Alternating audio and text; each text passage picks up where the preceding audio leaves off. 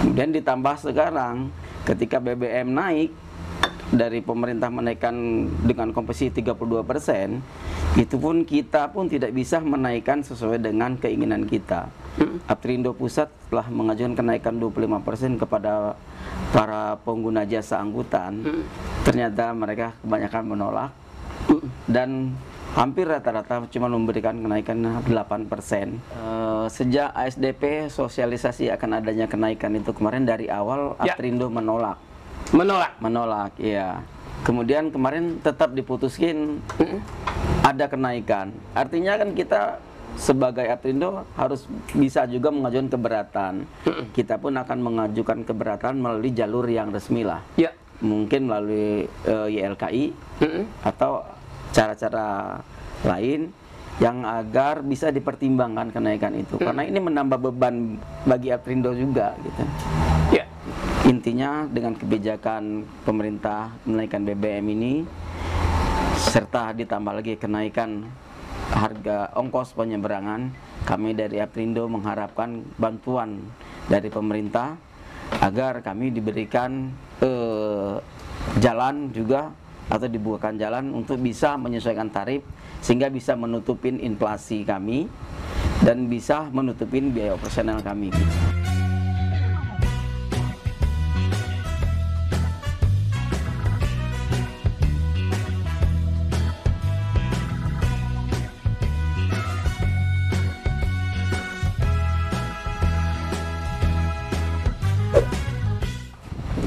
Assalamualaikum warahmatullahi wabarakatuh. Waalaikumsalam. Sahabat Tugas TV, di mana pun Anda berada, jumpa lagi bersama Pak Blangkon. Dalam kali ini, PDKT tentunya yang sangat hot-hotnya baru semalam jam 00 naik harga tiket penyeberangan. Penyeberangan yang sangat sibuk di Asia. Penyeberangan yang menghubungkan dua pulau besar. Pulau Sumatera dan Jawa. Agar tidak penasaran, langsung saja kita akan kupas tuntas efek domino daripada kenaikan BBM tentunya yang dirasakan oleh Aprindo. Langsung saja. Ah, selamat sore, Pak. Selamat sore Pak Blangkon. Sehat, Pak ya? Alhamdulillah sehat. Karena baru pertama kali podcast di Lugas TV, Siap. bisa dikenalkan kepada sahabat sahabat Lugas TV. Silakan. Baiklah, Assalamualaikum warahmatullahi wabarakatuh Sahabat Lugas TV, salam sejahtera Semoga kita sehat semuanya Perkenalkan, saya Sugianto ST Merupakan pengurus dari DPD Aprindo Banten Bagian angkutan domestik dan kontainer Alhamdulillah, sore ini kita diundang oleh Lugas TV Untuk mengupas tuntas efek domino dari kenaikan BBM di Indonesia ini Dan dampak bagi pengusaha truk di Indonesia Oke. Demikian Pak Blangkon. Ya, terima kasih Pak Suganto. Pak Suganto, karena waktu, durasi kita terbatas, langsung saja Pak Blangkon mulai pertanyaan pertama. Bisa dijelaskan secara singkat apa itu Aprindo dan kapan terbentuk di Banten? Saat ini sudah beranggotakan berapa? Silakan. Baik, eh, terima kasih Pak Blangkon atas waktu yang diberikan kepada saya. Eh, Aprindo, intinya Aprindo itu berdiri di Indonesia dulu ya, tanggal Ya. 14 Agustus 2014. Hmm. Dan di Banten sendiri berdiri tahun 2015. 2015. Ya, untuk saat ini anggota Aprindo itu terdiri dari 100 anggota, sekitar 2000 armada di bawah Asosiasi Aprindo. Aprindo sendiri berdiri mandiri tanpa afiliasi dengan organisasi ataupun institusi lain ya, Pak ya. Ya. Jadi kita ini eh, merupakan nirlaba, bukan untuk mencari keuntungan, Ya. tapi kita berjuang untuk kemaslahatan pengusaha truk Indonesia. Oke. 2000 armada Ya, yang merasakan ya, cengep-cengep kalau bahasa orang awamnya. betul. Oke. Pertanyaan berikutnya. Asosiasi Pengusaha Truk Indonesia yang langsung terdampak berat kenaikan BBM. Seperti apa jeritan pengusaha-pengusaha truk ini, Pak? Bisa dijelaskan, Pak, sahabat Lugas TV? Baik sahabat Lugas yang kami hormati, sejak 2018 itu tidak ada kenaikan BBM. Untuk angkutan sendiri tidak ada kenaikan tarif. Karena yang mempengaruhi kenaikan tarif itu pada umumnya di, digambarkan nama pengusaha-pengusaha lain itu karena kenaikan BBM. Padahal kita mengalami penurunan pendapatan biaya operasional naik itu gara-gara inflasi dan eh, kenaikan harga spare part sebelumnya tiga tahun ke belakang itu pun tidak ada perubahan harga tarif yang kita berikan ke pelanggan kita gitu. Kemudian ditambah sekarang ketika BBM naik dari pemerintah menaikkan dengan komposisi 32 persen, itu pun kita pun tidak bisa menaikkan sesuai dengan keinginan kita. Aprindo Pusat telah mengajukan kenaikan 25 persen kepada para pengguna jasa angkutan. Ternyata mereka kebanyakan menolak. Dan hampir rata-rata cuma memberikan kenaikan 8 persen yang itu hanya untuk menutupin biaya solar sendiri. Hmm. Sedangkan biaya kenaikan sopir, inflasi, kenaikan spare part, harga ban itu harus ditanggung oleh pengusaha truk yang di bawah asosiasi Apri- Aprindo itu. Oke. Singkatnya, sudah kena dampak inflasi, Betul. terasa sekali dihantam lagi dengan BBM naik, Iya. Terus tetap mengajukan kenaikan juga tidak bisa untuk ongkos kepada eh, eh, yang punya barang. Iya. Itu yang dirasakan saat ini. Iya. Kenaikan hanya untuk mengganti biaya solar yang terpakai aja. Begitu? Ya. Nah, ini Pak, pertanyaan berikutnya. Bukankah kalau Pak Blangkon lihat ini, begitu BBM naik malam, kapan saja lah kalau pas naik, itu sopir angkot itu Pak, pagi-pagi, anak sekolah bayar, eh naik nong, Betul, bayar. otomatis. Ibu-ibu mama ke pasar, eh naik nong, bayar. Iya. Kan begitu. Nah, terus publik berpikir kan, kalau BBM naik, tinggal naikin aja ongkos matanya. Eh, tidak akan seperti itu. Bisa dijelaskan, Pak? Tidak semudah itu, Pak. Nah, coba dijelaskan, Blangkon, Pak. Di mana letak sulitnya?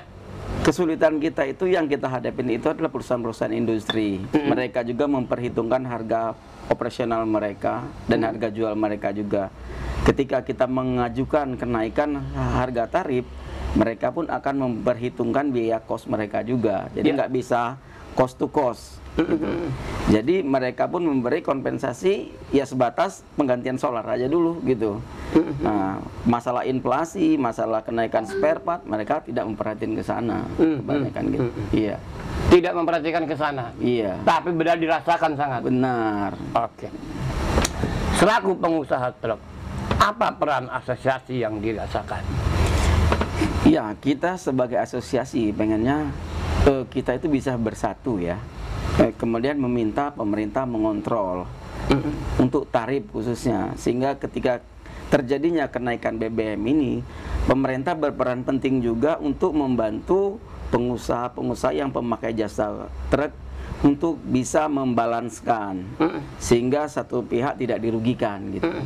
Kalau sampai saat sekarang pemerintah ketika melempar bola mereka lepas gitu kan. Untuk yang berjuang kita sendiri ini gitu Ya. itu. Jadi ya beban tuh di kita sekarang Pak Blangkon gitu.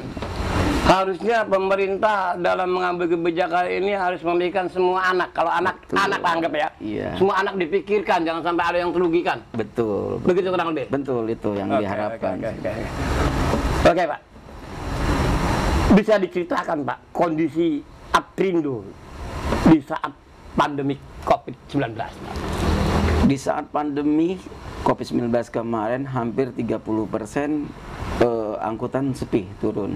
Turun. Karena ini berdampak juga pemakai jasa pun juga turun. Hmm?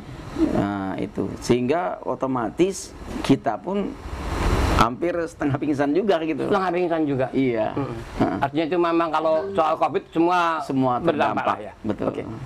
Terus Pak, Organda dan Aprindo bedanya di mana? Bisa dijelaskan Pak?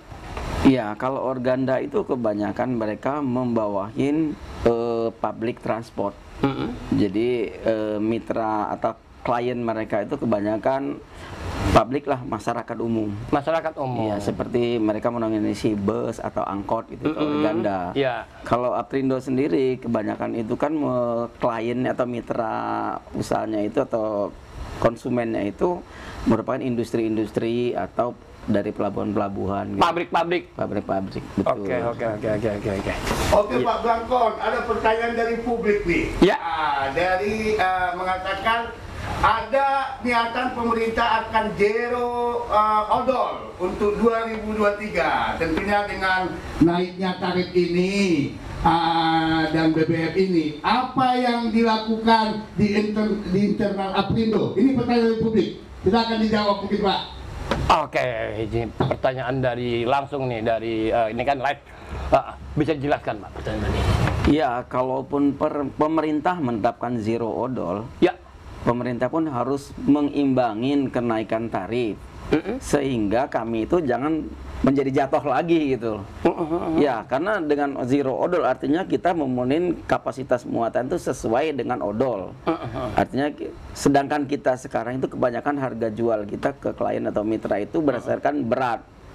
Jadi jika berat itu dibatasin, artinya pemerintah harus membantu menaikkan harga tarif sebagai kompensasinya. Mm-mm. Itu supaya kita juga sama-sama bisa hidup gitu, Pak Belangkon. Artinya, aduh, aduh, aduh, aduh. Iya Pak. Inflasi, dampak masih Dampak. diem aja dijalanin. Iya. Timpah BBM, Tambah ini yang dirasakan. Nanti odol akan turun. Iya, Kena lagi. kena lagi. Tadi malam kena di Oke, nanti penyeberangan. berangkat berikut Pak. Oke, berikutnya. ya. Organda dan Apindo bedanya di mana sudah dijelaskan. Nah, melangkah ke pertanyaan berikutnya. Naiknya 11% tarif penyeberangan Merak Bakauheni.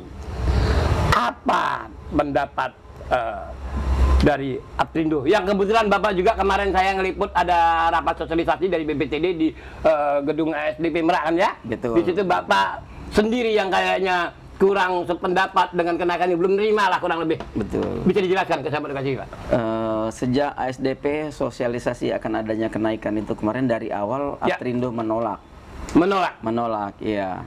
Kemudian kemarin tetap diputuskin ada kenaikan. Artinya kan kita sebagai Aprindo harus bisa juga mengajukan keberatan. Kita pun akan mengajukan keberatan melalui jalur yang resmi lah. Ya. Mungkin melalui eh, YLKI Mm-mm. atau cara-cara lain yang agar bisa dipertimbangkan kenaikan itu karena ini menambah beban bagi Aprindo juga gitu. Ya. Gitu. Kenaikan 11%. Tidak setuju. Tidak sangat tidak setuju. Kalau bisa tidak naik. Ya, yang disosialisasikan dari BPTD. Betul. Di sisi lain, ya Pasdap perusahaan ASD, uh, perusahaan pelayaran kemarin tidak hadir Bapak lihat sama saya kan. Iya, betul.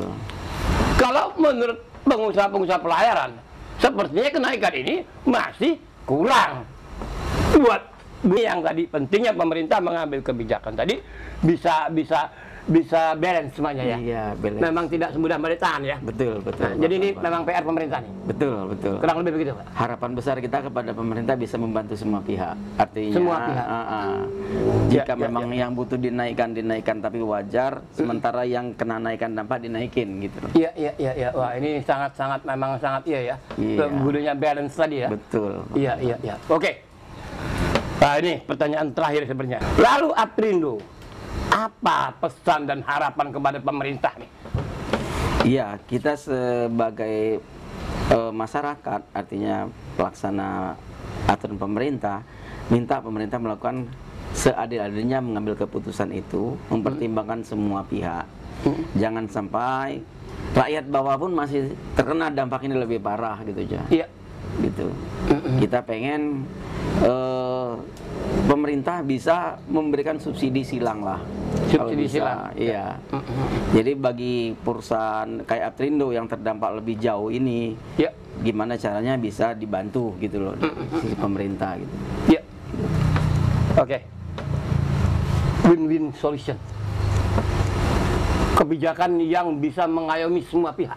Betul, Kurang lebih begitu. betul, betul. Nah, terakhir closing statement ya. Pak.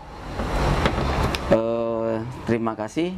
Eh, intinya dengan kebijakan pemerintah menaikkan BBM ini, serta ditambah lagi kenaikan harga ongkos penyeberangan, kami dari Aprindo mengharapkan bantuan dari pemerintah agar kami diberikan eh, jalan juga atau dibukakan jalan untuk bisa menyesuaikan tarif sehingga bisa menutupin inflasi kami dan bisa menutupin biaya operasional kami gitu.